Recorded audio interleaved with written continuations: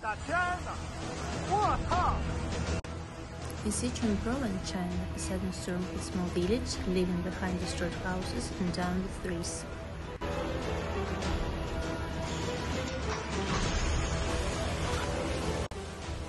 The majestic mountains of Sichuan witness powerful lightning and thousands of storms surround the region.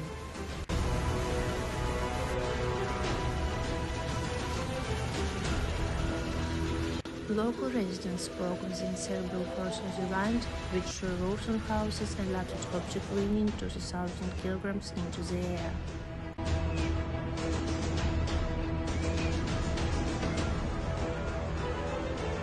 The Yangtze River in Sichuan overflowed with banks due to heavy rains caused by the storm, leading to widespread flooding in many areas.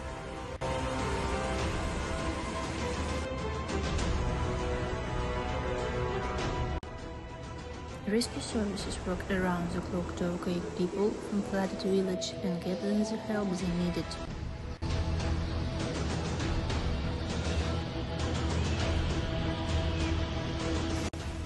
Meteorologists predict short advance, but its power and experience exceeded all expectations.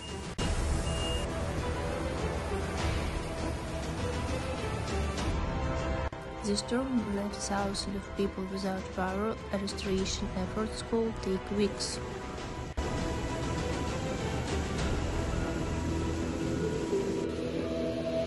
The people of Sichuan came together to help each other in their time in need to provide shelters and sharing supplies.